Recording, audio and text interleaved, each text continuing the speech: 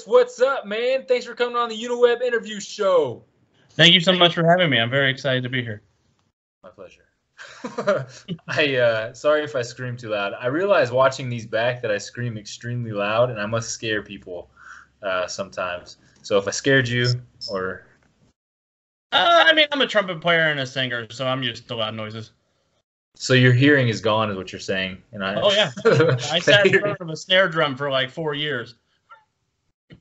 Yeah, that'll do it, man. I'm basically like a, I'm like a, a foghorn, just kind of screaming into people's ears. So Alexander Thomas, you are an author. Your your current book that will be out May 15th. Is that is that correct? Uh, May 3rd. May 3rd. May 3rd. Um, will be available for pre-order and that kind of thing. Uh, mm-hmm. The Magician's Sin. Yes, uh, it's a fantasy noir book about a grizzled wizard who comes out of retirement when his ex-wife gets abducted, and he winds up uh, going up against the mob and against demons and against these old feelings he didn't know he was going to have to deal with, and it it all comes to a big head. I'm excited for it. Dude, is this like John Wick with wizards? It's kind of like that. Um, I always told people it was kind of Dresden Files meets Casablanca.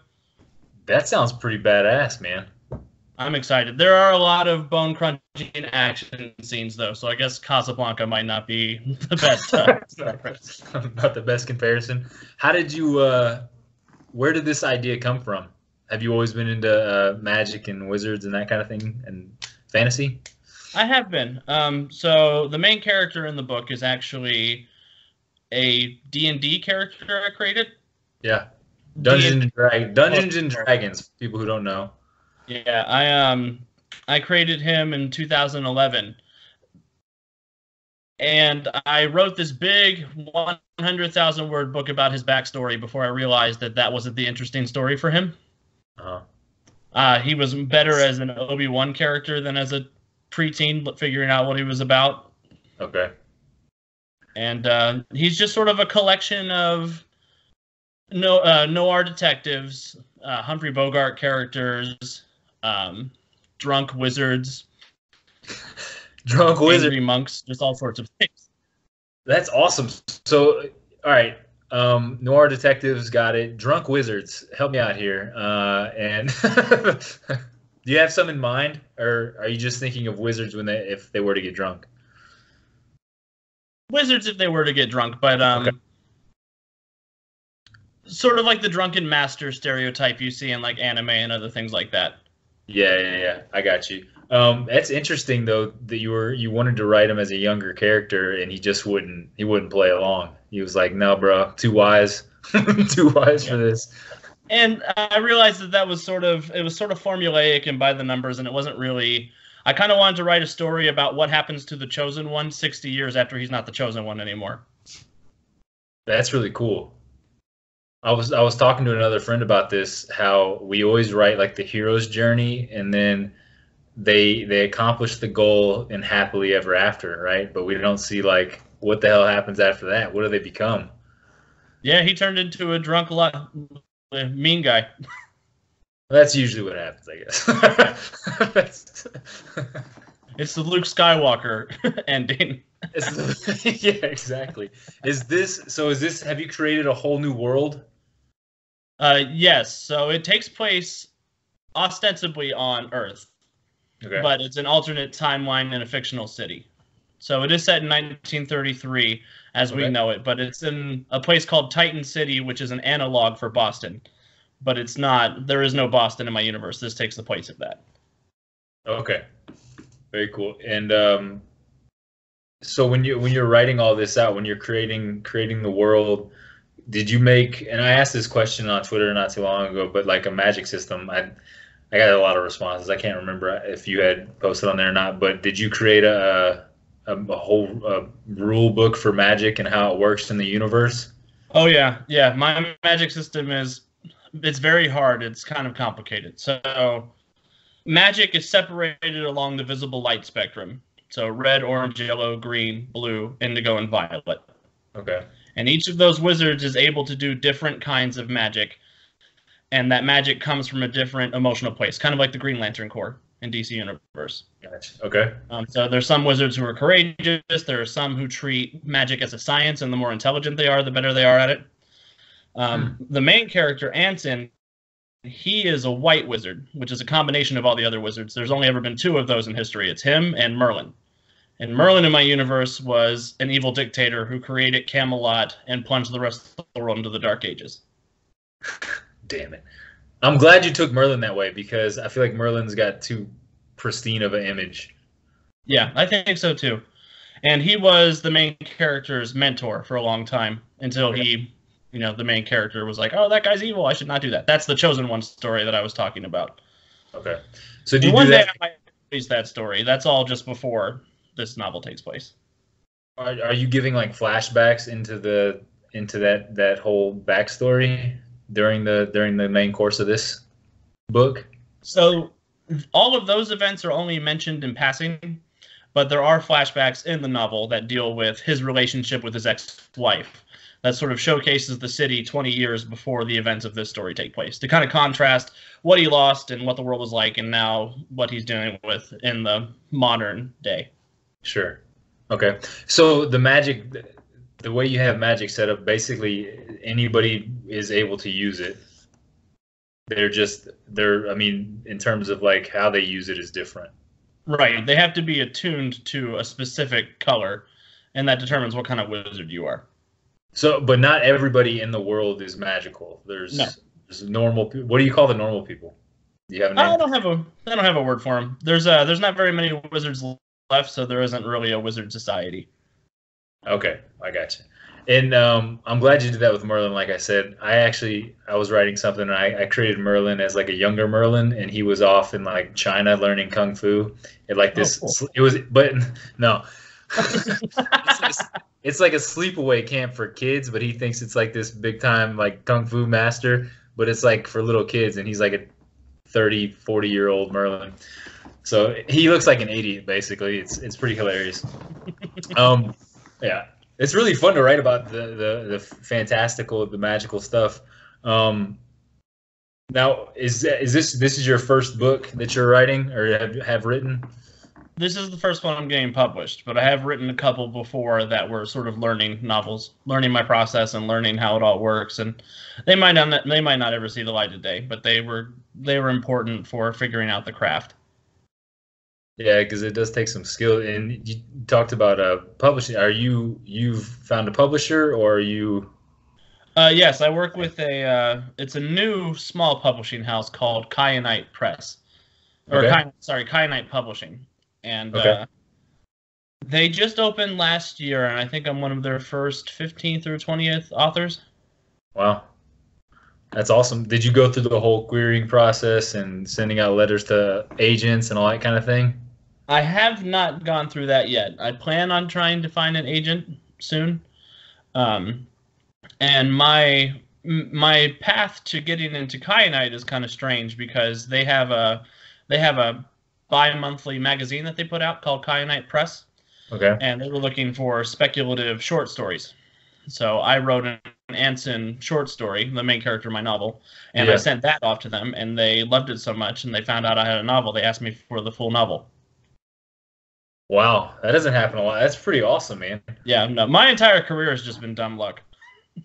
well, that's okay. I talked to somebody, another author who's working on getting published, and he's like, "Dude, you'll find out that most of this is like absolute dumb luck, like just falling, falling in and being in the right place at the right time." Yeah. But I mean, you had, I mean, you've obviously you worked your tail off writing this book. It's not like, like I don't have anything to give anybody. if you know what I mean. Like if if it were to happen, I don't have a short story to, to, to submit. So you did some, you did work.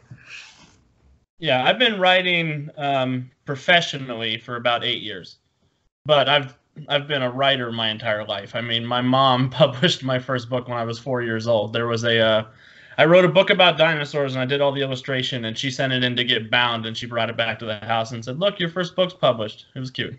That's adorable. did you did you know then that you wanted to be a writer? Yeah, I've, I think I've known pretty much my whole life. I've always loved stories, and I've always wanted to tell stories and break stories down and figure out what exactly makes them work and why we do that as a species, and nobody else in the universe seems to yet. Anyway, there might be aliens who do. I don't know yet. There's no telling. They're, they're they're probably out there. So you said you're a full time writer. What else uh, besides writing books are you writing? Um, I do game design. So I do freelance game design for a couple of different tabletop role playing game companies. Okay. Um, I've done work for the Mutants and Masterminds line for Green Ronin, which is a superhero kind of Dungeons and Dragons. Uh-huh. Um, I create supervillains and stuff like that, and I've worked in their editing department, which is fun. Um, nice. So you create story. I'm currently working on a product called. No, I create the characters and I create the stats and I send them in, and game masters can integrate them into their campaigns. Oh wow! Yeah, it's cool. Um, and I work. Uh, I've done some work on some horror RPGs, like the Quantum Black game is a new game that's out. A couple of my friends put out, sort of an indie style publisher. How does it feel working on games compared to working on a book? They complement each other, I think, but it's easy to it's easy to fall into the author mentality when I'm writing a game, and that's not that's not really the best way to go about it because a game is a group storytelling activity. So you have to be open to other people's additions or subtractions from the story that you're telling. Yeah, I know. I, I know what you mean. That's got to be tough, though, right? Like, it was. Was it a hard pill to swallow at first when you first started doing it? Because I know writing, it's like I don't want people to touch my work. I'm like, it's exactly how it's supposed to be. Leave it alone. yeah, it was very hard. Uh, I've been a dungeon master since I was 11 years old, and it was very hard for off book, so to speak, when I was a kid. Yeah. Um, I would have this great epic story planned, and then they would just want to hang out in the bar and talk to like a bartender all night. And I'm like, but I wrote this epic thing. Go do it. wow, that's really cool. So some of the some of, I want to know some of the characters you've created so far for these games, because it's it's got to be. I mean, with the, the the amount of you know superheroes and characters out there, there's got to be like, is it getting challenging to come up with something new and creative? It is. Um, I have a lot of my ideas stem from real world modern problems. I actually have one. This, this is perfect. I have a character named Selfie, who is a YouTuber supervillain. Oh no. She um, she is the synthetic entertainment life form for interfacing with electronics and she is a robot that was created by a uh, created by a young man who wanted to be a YouTuber and have a makeup tutorial channel, but okay. he didn't know how to program her to do makeup correctly. And then he realized that there were shaky cell phone video of supervillain fights that were getting millions of hits online. So he created he reprogrammed his robot into a villain and now she has these three automated drones that follow her around and record everything she does.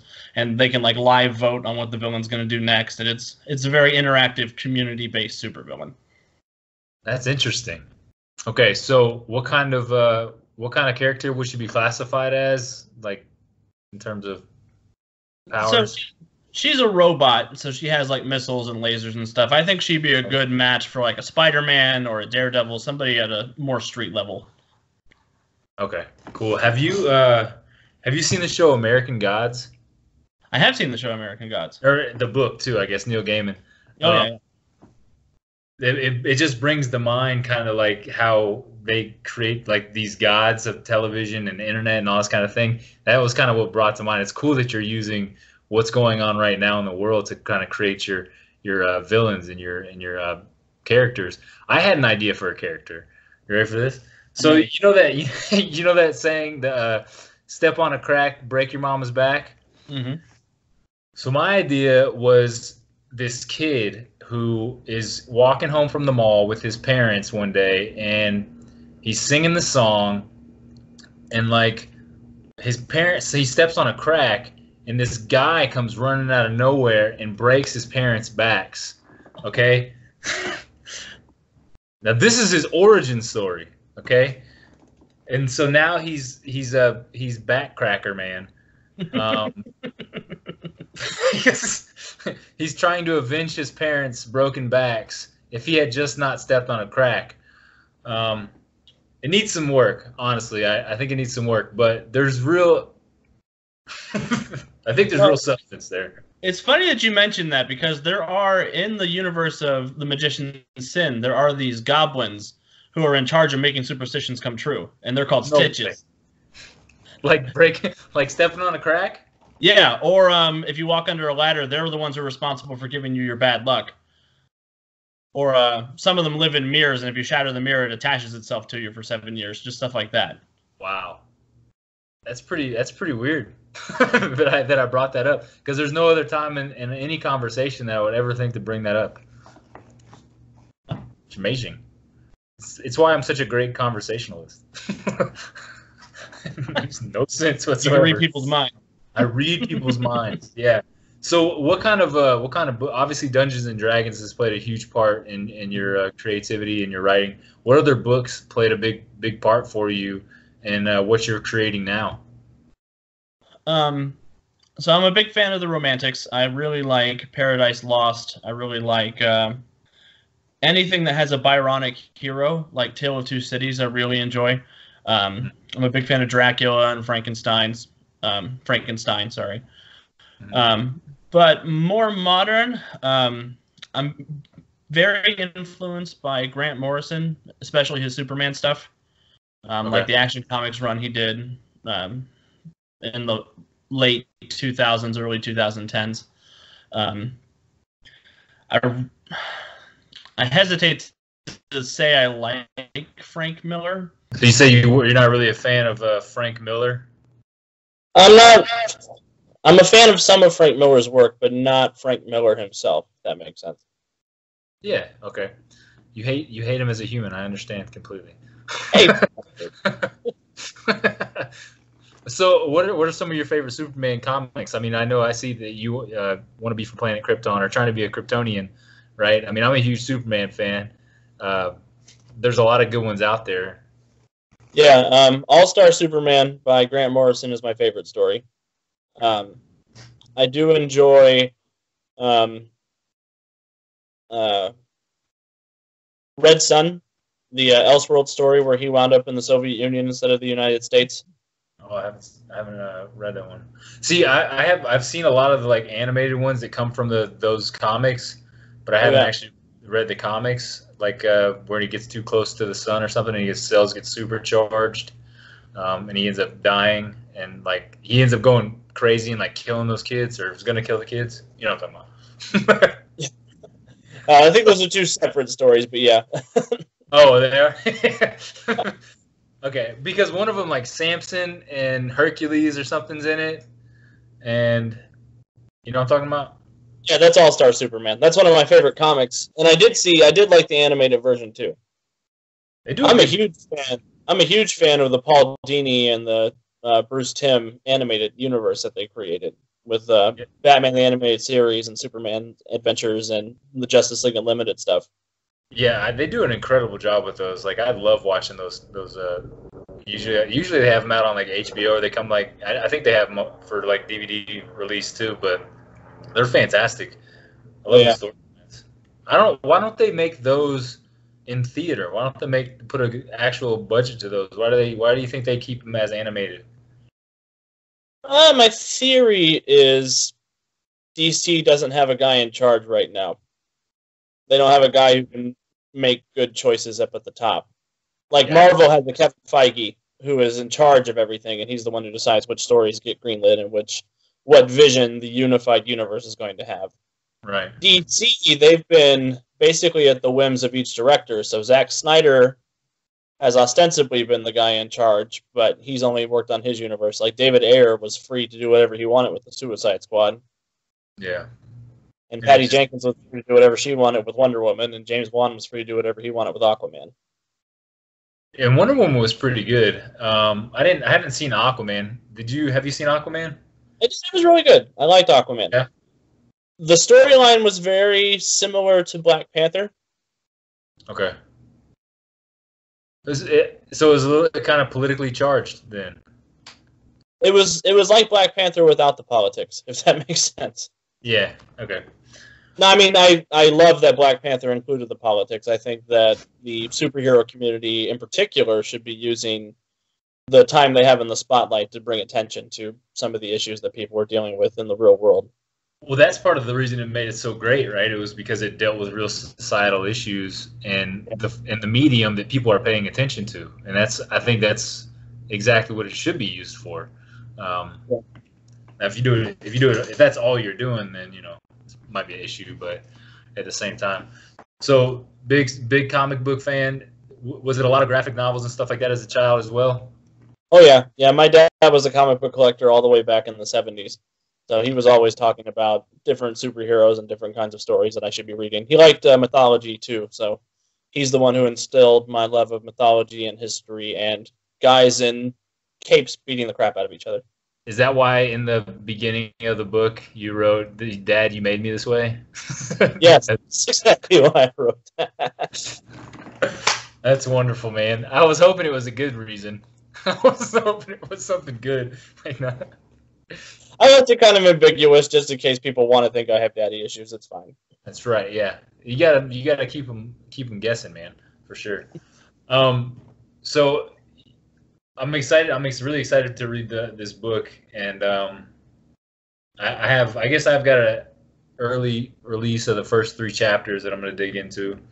Um, what are you working on at for after this? Like, do you have a sequel planned? Or... I do have a sequel planned. Um, so currently, I'm working on the sequel is called The Titans Gambit, and it deals with the aftermath of the mystical event that takes place at the end of The Magician's Sin.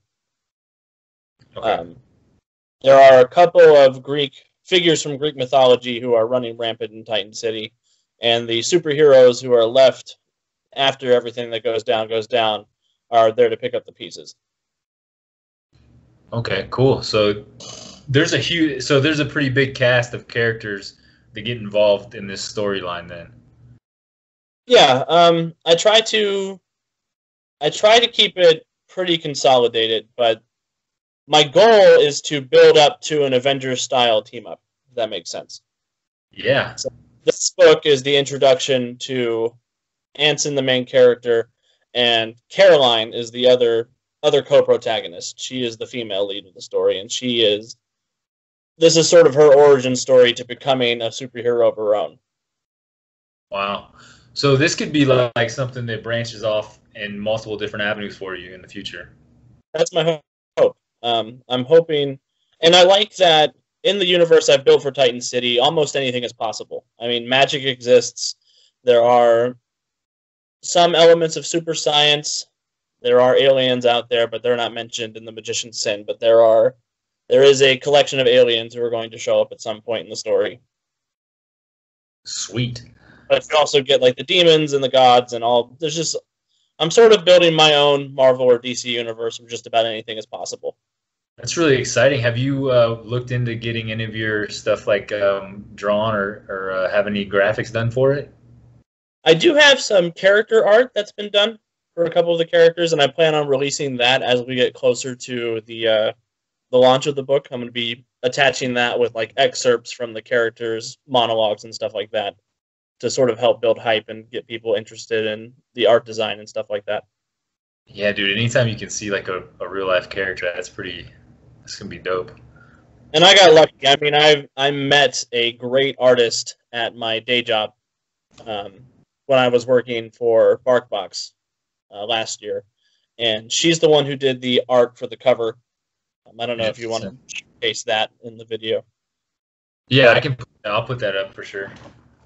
Um, she's the one who did the art for that, and she also did the art for the various characters. So it's one unified style, and it's very unique to my specific story. Very cool. Do you ever think like one day there's gonna be kids wearing Halloween costumes of characters that you created? Have you ever thought about that? I hope so, but I'm not. Uh, I'm not arrogant enough to assume it's going to happen. but you still dream about it, right? yeah, I hope someday that I hope someday I am able to write a character that people can connect with and can look up to or look down on and just learn something about what it is to be yourself or somebody else. what have you what have you discovered in writing and, and creating all these different villains and heroes? What have you discovered a theme in in the creation of these people? Because there's there's something that ties them right all together. Yeah, um, it's partially snarky humor ties them all together. that's, that's my. That's right. um, one of the big one of the big themes I like to explore, and one of the things that sort of colors every one of my characters, is the relationship of power and responsibility. Not to steal Spider-Man's line, but there is um, there are a number of characters in my work who think that people with great power have a responsibility to use it to better society. Some people think that there's no point, that there's even one person with a bunch of power is never going to make a difference. Some people think that those in power should be in charge of everybody else. It's just it's a relationship between exceptional people and the rest of the world, I guess, is the one of the big themes that ties all my characters together. Yeah. Well, the idea of responsibility in the real world is something I think that people people struggle with, and I talk about this a lot too. Like taking taking personal responsibility for ourselves and how powerful we can be when we take personal responsibility for our own lives. It's yeah. like we can see that, and it, and it can become manifest too in in uh, in our sci-fi or fantasy writing, where it's like when the, the character finally realizes that the power is not a curse, or it's like that it doesn't have to be the way that everyone thinks it's supposed to be. It's got to be the way that they embody their power, right? Oh yeah, yeah, definitely. Um, I think that there is definitely something be, to be said for owning your abilities and figuring out what you are going to do with it, regardless of what anybody else wants you to do with it, what anybody else thinks you should do with it. You have to come up with your own, your own solution and your own path. Right.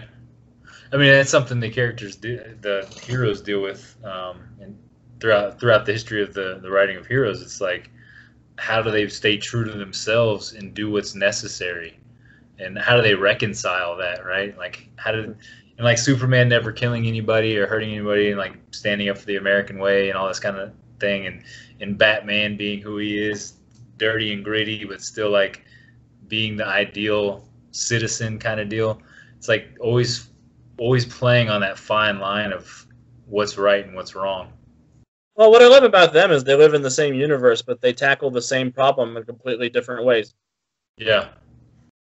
And I love that dichotomy. I think that there's a lot to be said for creating a world where there are so many different avenues of opportunity and figuring out which characters are going to which characters are going to do the right thing, which characters are going to do the wrong thing, and who falls in the middle. Yeah. And remembering that nobody wants to be evil just because they're evil. Everybody everybody thinks they're the hero, right? Yeah, exactly. Everyone's the hero of their own story, for sure. It always it always it always blows my mind though to see Batman come out of the stuff he does. Like I don't know how this guy is like fighting these incredibly superpowered things. Having money and being a ninja, man. That's where it's at. Freaking ninjas. They're a bigger problem than people let on. yeah, exactly. That's really cool. So um, I asked everybody this question, and we kind of touched on it a little bit. But in terms of legacy, besides kids wearing, you know, the superhero costumes that you create, what uh, what kind of legacy are you looking to leave the world when you're done writing and all your your books are put away and the pens put up, man? Well, I really hope I can keep writing until I'm just gone, and somebody else has to pick up the pen and finish what I have. the pen falls out of your hand dramatically. Um, but I, I want people to look at my stories, and I want them to see real people who are dealing with real problems and overcoming their own personal anxiety and their own personal conflicts to create a better world. Um, I want people in the future to know that yes, we are anxious. Yes, we are depressed as a generation. And it feels like the system is completely working against us, but we have the power to make that change. You know, it's not futile, it's not inevitable, and it will get better. That's awesome, man. That's a that's a great perspective. It's so cool that you're you're writing that out. And have has writing these stories has it helped you overcome uh, mental barriers and and things in the, in your life? Yeah, I think so. Um, my father passed away when I was 23, so almost five years ago now. Yeah. And uh, the whole end of his life, I was sort of just a screw up. Like I didn't go to college. I didn't do all of the things that I was supposed to do with my honor roll. You know, graduating with high honors and having good grades and yeah. being well read. I just sort of drifted around, sort of bereft of purpose. And the last five years, I have really, I've really knuckled down and I've tried to overcome that. You know, mm-hmm. he didn't leave much in this world, other than like me and my siblings, I suppose. Yeah. And uh, I want other people to know that no matter what setbacks you suffer, that you can do it. That's awesome, man. It's it's an incredible sentiment, you know. Yeah, and if you think you can do it, you can do it. I mean, I've learned that it's not the water on the outside of the ship that sinks you. That's profound, man. Yeah, it's the water inside. Yeah, and I, and uh, it's something I, I I've, I've struggled with a lot in my life. And we talk about personal responsibility. It is. It's like once we realize that the water inside of us is sinking us, if we just focus on getting rid of that and patching up the holes inside of ourselves, and we'll, you know, it doesn't matter what where the wind's blowing. It's like we'll still be sailing along. It's swallowing the bucket that's the hardest part. yeah. Damn fuck. You got open wide, man. That's awesome, man. That really that really touches me for real, like because that that sentiment is something that that hits very close to home for me too. Um, so thank you for sharing that for one, um, and two, in terms of in terms of the writing of building a world, creating characters, um, having them deal with real life issues and and all this kind of stuff. What was the most difficult part about writing this story for you? So I I worked with a wonderful editor named Shirsti Naveen, who sent my draft back to me after I had her edit it, and she basically told me to rewrite the last half, which was something like sixty thousand words at the time. Holy crap! Yeah, and I've cut it down. I've cut it down since then to seventy-seven thousand words. The whole novel was that long, so I cut okay. out a lot of extra stuff. So um, before you, problem, before that, it was like one hundred twenty thousand plus words or one hundred thirty thousand plus words. Yeah, before that, but that was too much. I overwrote. yeah. um, but the um, the problem was at the middle of the book, it kind of shifted from being a noir story to a regular fantasy story. Okay. They um they moved from Titan City to the island of the Amazons, Paradise Island. Okay. And at that point, it just became like a traditional fantasy story, and it sucked a lot of the a lot of the atmosphere and a lot of the tension out of the story. Okay. But one of the best changes in the story resulted from this rewrite. Um, I took the Amazons off of their island and I put them in a Hull House, which is a center for women who are in trouble in the city, and they operate chapters of these houses throughout the world, and that's where they find their new Amazons. It's where they find their new recruits. Wow. And it was a way to modernize them and put my own take on them that wasn't just, you know, Wonder Woman minus Wonder Woman. That's pretty amazing. So, having your editor tell you to go back and redo half of your book was the probably one of the best things that uh, could have happened to you. Yeah, um, difficult but best. Yeah, I mean, and it took a lot of owning up to.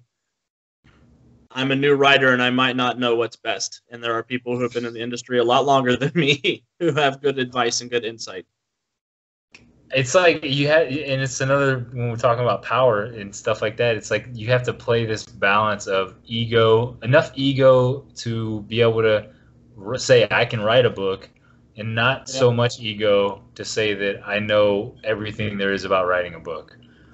Yeah. You have to have enough ego to say they should chop down a bunch of trees and put my words on them. Right. Yeah. And I, I deserve my name on this book and in lights. Yeah exactly yeah, people should breathe less because I have thoughts. right. Hey, man. Some of the stuff I write, I'm telling you what, it's pretty good. I'm so excited to read your book, uh, The Magician's Sin. Um, Alexander Thomas, it's been great getting to talk to you.